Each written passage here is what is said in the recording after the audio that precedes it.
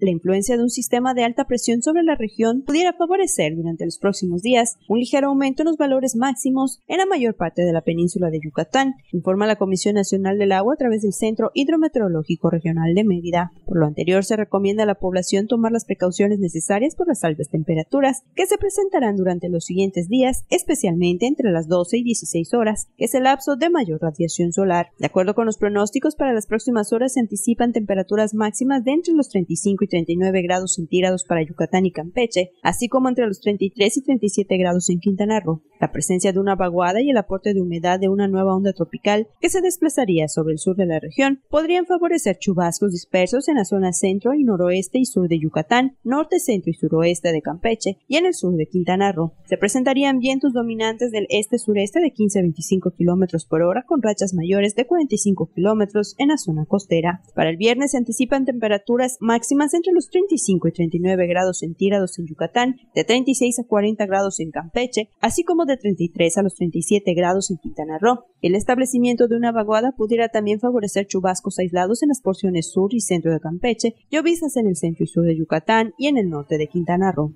Se pronostican vientos del sureste de 15 a 25 kilómetros por hora y rachas de hasta 50 kilómetros por hora en la zona costera. Asimismo, se espera que una nueva onda tropical se ubique en el occidente del Mar Caribe. Para el sábado se anticipa de nuevo temperaturas máximas que oscilarían entre los 33 y 39 grados centígrados en Yucatán, de 36 a 40 grados en Campeche y de 32 a 36 grados en Quintana Roo. Se espera que una nueva onda tropical se desplace sobre la región y genere un incremento en los nublados y de chubascos a tormentas puntualmente fuertes en el sur y zona costera de Quintana Roo, sur y centro de Campeche y de chubascos a tormentas dispersas en el noroeste, sur y centro de Quintana Roo. Los vientos serían del sureste de 15 a 25 kilómetros por hora, con rachas superiores a los 45 kilómetros por hora en la zona costera. Con imágenes de Francisco Baeza, Liliana Hernández, Notivisión.